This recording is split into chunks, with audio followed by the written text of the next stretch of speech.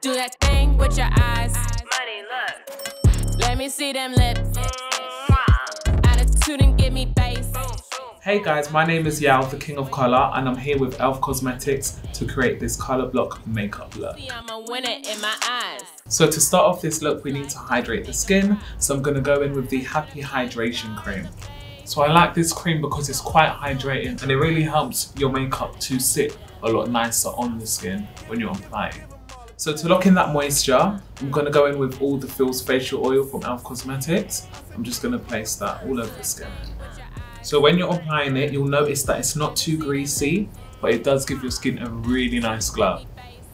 So as we're going to be using a matte liquid lipstick later on, we do want to hydrate the lips. So I'm going to go in with the e.l.f. Calm Balm. I'm just going to place it on the lip. The town, the talk of that. So to fill in my brow, I'm going to go in with the Ultra Precise Brow Pencil. Tryna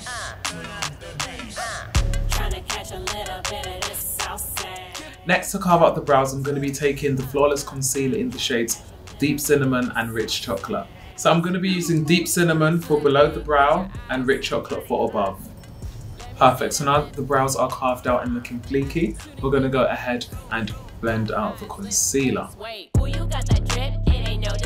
And as you can see, this concealer is very, very, very blendable. I ain't come to play. Nah, nah, Next for my eyeshadow base, I'm going to be going in with Deep Olive and I'm going to place that all over the lid. Nah, I came here to slay. Tryna catch a little bit of this. And I'll take in the mini sponge, I'm going to go ahead and blend all of that out.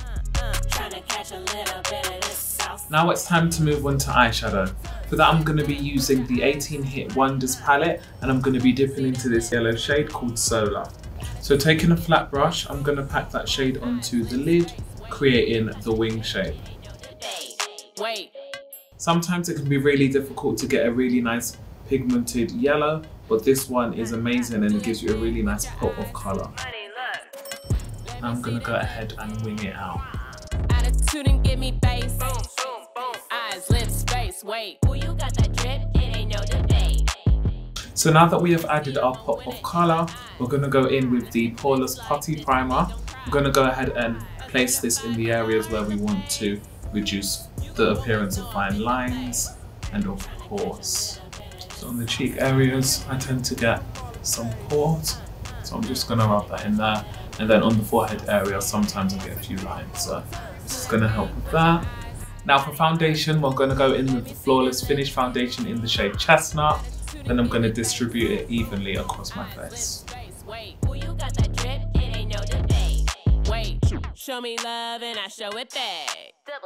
And Perfect, now it's time to highlight the high points of our face. We're going to go in with Rich Chocolate and Deep Olive. I like to start off with Rich Chocolate because it's slightly closer to my skin tone, so it's going to help as a nice medium between my skin tone and the brighter concealer. Now we're going to go ahead and blend that in with the same sponge. Time for Deep Olive. See them lips.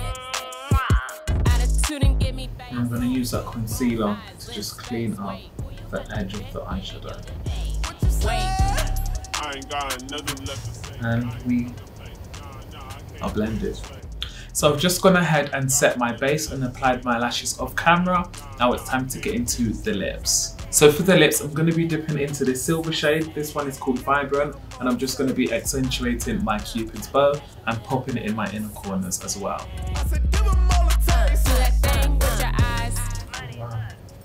Now we're going to go in with the sheer matte liquid lipstick in the shade Praline Petal.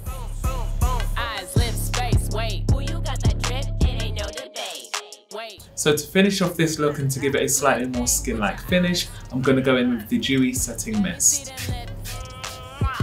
Attitude and give me face. Boom, boom, boom. Eyes, lips, face. Wait, you got that drip? It ain't no debate. You, you, you, you, you see, I'm a winner in my eyes. Lip, lip, lips like this and make them